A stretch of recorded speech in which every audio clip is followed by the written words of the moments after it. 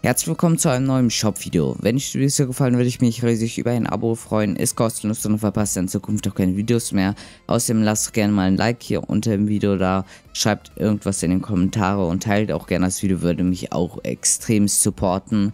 Ähm, eigentlich wollte ich gestern ja noch ein Video raushauen zum Live-Event, aber da das irgendwelche Probleme mit den Servern gestern gab, bin ich nicht ins Spiel reingekommen und das über zwei Stunden nicht, was relativ ärgerlich war. Ich glaube, die zwei Stunden danach lagen daran, dass ich mich eben halt zu oft versucht habe einzuloggen, was eben halt zu einem gewissen Zeitpunkt nicht ging. Und danach konnte ich mich immer nicht einloggen, weil ich mich davor zu oft eingeloggt habe. War dann etwas problematisch. Aber so ist es nun mal. Ähm, heute wird dann ähm, allerdings natürlich ein Video zu dem Star Wars Event kommen, beziehungsweise nicht zum Star Wars Event direkt, sondern eben halt zu den Neuigkeiten, die damit reingekommen sind. Könnt ihr euch auf jeden Fall darauf freuen. Und heute haben wir einen relativ coolen Skin tatsächlich im Shop, der auch verschlüsselt war, was relativ cool ist. Ist ja zurzeit, dass die meisten Skins für Weihnachten verschlüsselt sind. Ist auch dieser Skin, der Weihnachtstrooper. Skull Trooper einfach in der Weihnachtsvariante. Ähm, ist tatsächlich meiner Meinung nach die beste Skull Trooper Variante und sieht auch relativ cool aus. Kann sich auf jeden Fall kaufen. Dazu die Prügelzweig-Spitzhacke, die auch relativ cool aussieht. Dann noch der dunkle Dino-Kommando-Skin. Einmal in der violetten und in der Standard-Varianten. Dazu nochmal das dunkle Dino Baby. Hat genau die gleichen Varianten. Ebenfalls der dunkle Rex. Auch in Violett und Standard hinten das Backpack ebenfalls. Dazu die dunklen Dino-Knochen noch.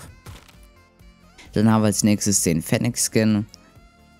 Dann heute neu auch die Ho-Ho-Ho-Lackierung, eben halt zur, aus dem Schäle-Einheitsset zum Skull Trooper äh, mit, einer Camouf mit einem Camouflage-roten und weißen Look. Sieht ganz nett aus, ist jetzt aber auch nichts allzu Besonderes, da es nicht animiert ist. Dann haben wir noch den Katastrophenskin. Hinten mit dem giftiges Kätzchen im Backpack. Dann die Forkknife-Spitzhacken waren auch schon relativ lange nicht mehr im Shop drin. Kann man in zwei verschiedenen Varianten haben.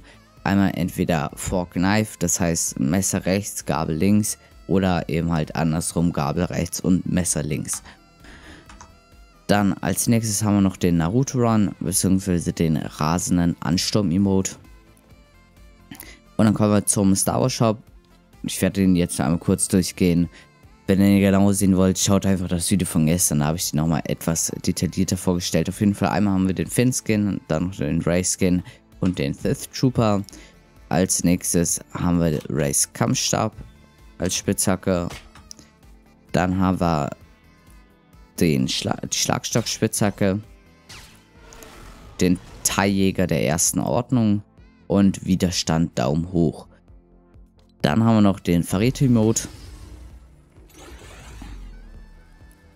Und als letztes nur noch einmal Banner des Widerstandes und Banner der ersten Ordnung ähm, zum äh, als Geschenk kaufen.